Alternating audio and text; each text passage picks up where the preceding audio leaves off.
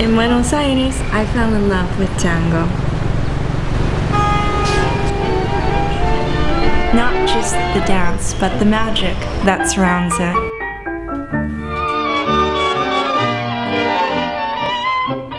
The tango culture and the tradition of the milongas.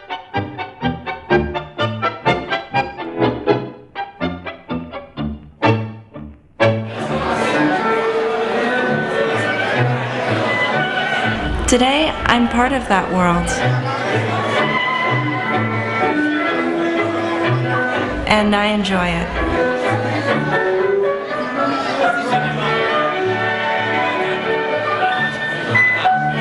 Do you want to be a part of it?